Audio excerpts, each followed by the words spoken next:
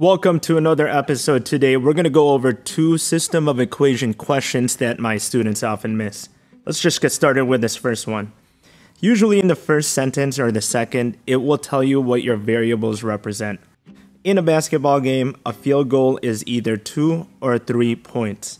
So, right off the bat, it will tell me that x could be my two pointers and my y is my three pointers.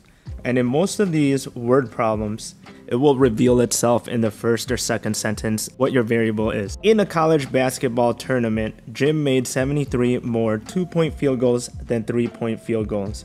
So we got one important information right here that all go together. I'm to highlight that in yellow. Second part is if he scored a total of 216 goals in the tournament, how many three point field goals will he make? So this information is the second part. We're going to write the equation for the yellow and the green. And the question is in the red. We're trying to figure out how many three point field goals he made, which is solving for y. So just keep that in mind. All right, let's start with the yellow. And this is the confusing one. This is why people often miss this. So let's say x and y are our numbers, right? We know from that sentence that he made more two pointers. So I'm just going to put the word more right here. I know my x number has to be more than my y. And how much more?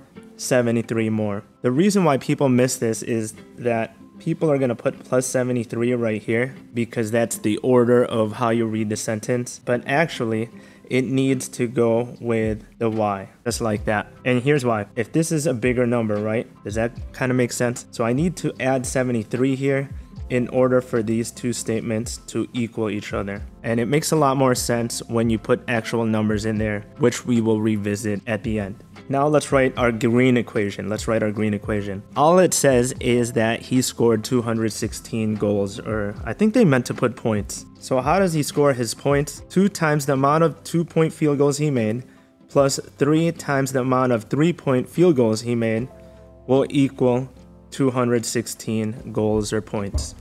This right here calculates his total. Now we got two equations and it's the easy part, the part that you guys know the best. And if I have these two equations and x is already solved for, then I'm going to use substitution. x represents y plus 73, so I can substitute that for this value right here. I'm just going to rewrite it, 2 parentheses plus 3y equals 216, and I'm going to replace x with y plus 73. And just simple algebra from here, 2y plus 73 times 2 is 146 plus 3y equals 216. Combine like terms, and then it's just a two-step equation from here. Subtract 146 on both sides, you're left with 5y equals 70.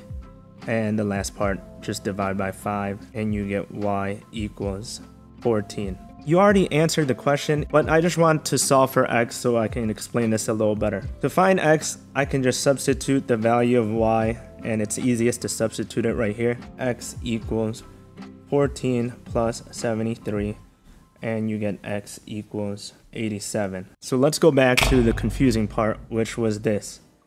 And you can see, this is 73 more than your three pointers, your y, 14.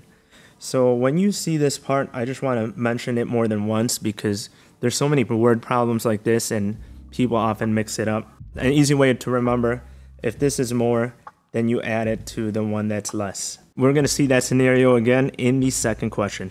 All right, like I mentioned, the first or second sentence always reveals what your variables are going to be. This is comparing sedans and SUVs.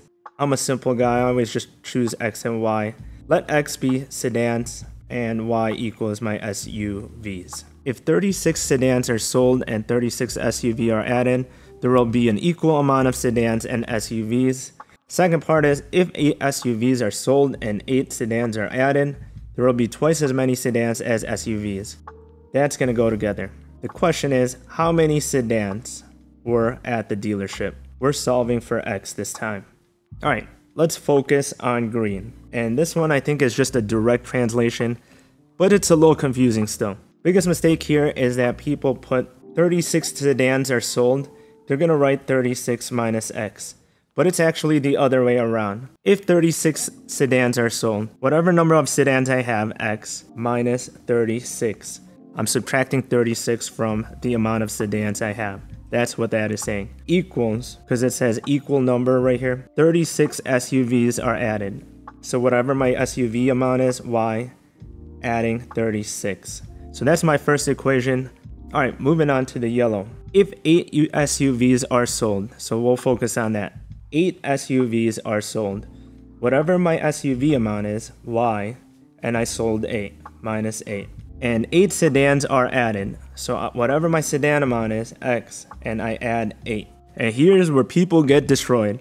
But it's not that bad. Think about what we talked about in the first problem. There will be twice as many sedans as SUVs.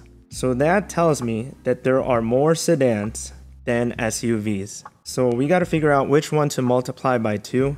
And the easiest way to do this is you multiply to the one that's the least in order for those two to be equal. It doesn't make sense to multiply this by 2. It's the other way around. I got to multiply the one that's less by 2 in order for those two to be equal. All right, from here, our goal is to solve for x so I did the other one by substitution. We'll just get fancy and solve this by elimination. In order to use elimination, you got to put it in standard form. So x minus 36 equals y plus 36. Put all your variables on the left side, and you can do two things at the same time. Add 36 on the right side. I will get x minus y equals 72. All right, simplifying this one, I'm just to distribute it so I write less it's to be 2y minus 16 equals x plus 8. Put it in standard form, just subtract x and add 16. You can do two things at the same time. Negative x plus 2y equals 24. And from here, it's just a system of equations. x minus y equals 72.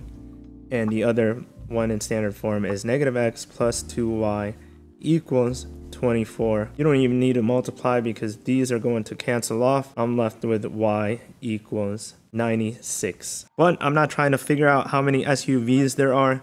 I'm trying to figure out the sedans.